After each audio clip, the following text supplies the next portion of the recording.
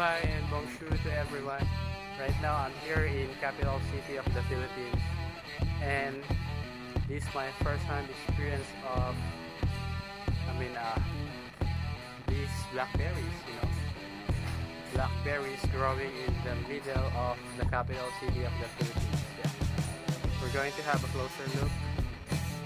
I was really surprised I thought, you know, blackberries will only grow the countryside or in other countries and not here in the Philippines.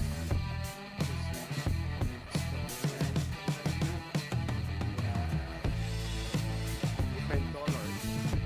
Probably the right ones are black color. And going to take closer look. Here, we have going blackberries. I I'm not yet sure it's really blackberries or versa.